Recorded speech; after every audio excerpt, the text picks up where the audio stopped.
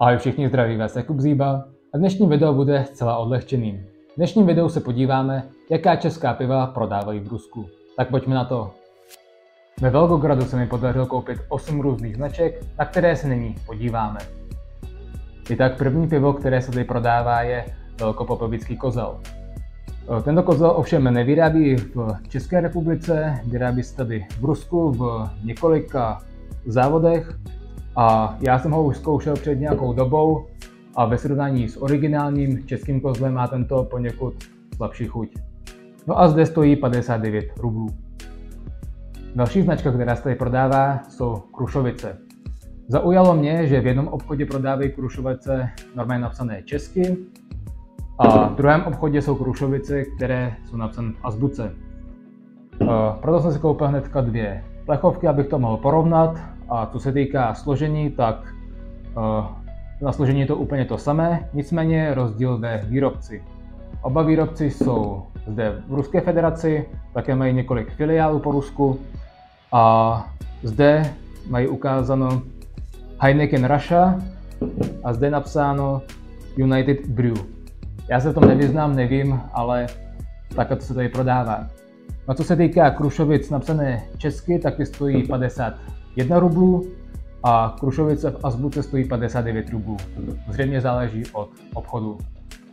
Další značka, která se tady prodává, je Zlatá Praha. Toto pivo jsem upřímně neviděl někde v České republice, tak nevím, jestli se vyrábí speciálně na vývoz, nebo jak to funguje. Nicméně pokud se podíváme na etiketu, tak se skutečně vyrábí v České republice.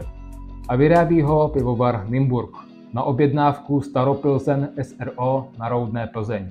Takže je to zajímavé. A tato zlatá Praha stojí 190 eh, rublů. Opět eh, cena bude v českých korunách na obrazovce.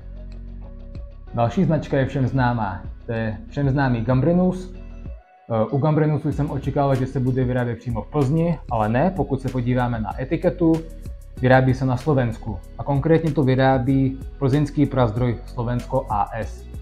Nicméně na chuť se mi to zdá stejný jako to plzeňský, takže úplně bez problémů. No a cena tohoto Gambrinusu je 190 rublů.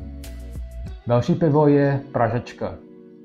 I toto pivo jsem v České republice neviděl, a, ale pokud se podíváme na etiketu, opět vidíme výrobce tradiční pivovar v Rakovníku. A stránky tady je pivo bakalář.cz. Takže jsem se podíval na tyto stránky a skutečně i v České republice se toto pivo dá objednat v České republice jsem ho neskoušel, proto nevím, nicméně na chuť taky jako běžné pivo. No a to ta pražečka stojí 135 eh, rublů. Další značka je Bakalář a opět eh, jako předchozí pivo pražečka, i toto vyrábí no, Bakalář, jak to samo název vypovídá. V České republice se taky dá koupit na stránkách pivo Bakaláře, takže také originální české, a toto pivo Bakalar stojí 156 rublů.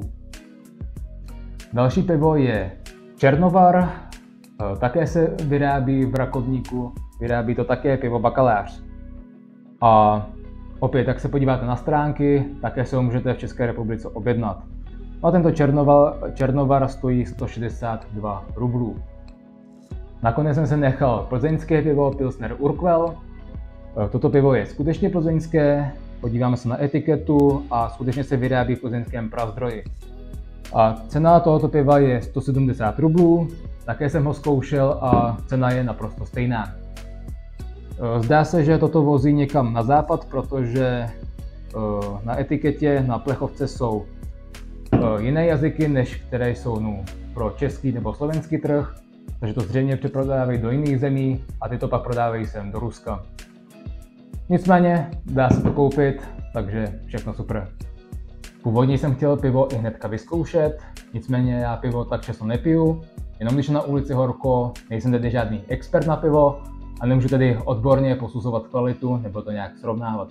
Nicméně předpokládám, že pivo, které bylo vyrobeno v České republice a dovezené sem do Ruska, tak bude stejné kvality, stejnou chuť bude mít, jako to bylo v případě Pilsner Urquell.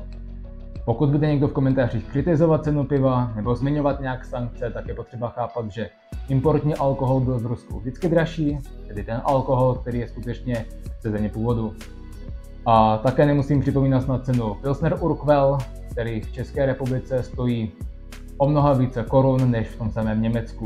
O to více to smutné, že domácí pivo pro Čechy je dražší. Jinak eh, ruské značky, ruská piva jsou samozřejmě levnější, třikrát až čtyřikrát levnější.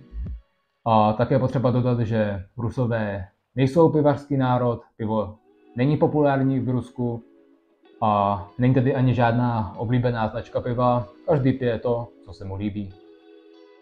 Přátelé, napište mi do komentářů, kterou značku piva máte rádi vy a jestli jste viděli některé z těchto piv i v českých obchodech. Pokud se vám video líbilo, dejte tradičně like, odběr a sdílejte. Velice si vážím toho, že má videa sledujete, moc mě to těší. A samozřejmě připijme si na přátelství mezi národy. Mějte se hezky a brzy na viděnou.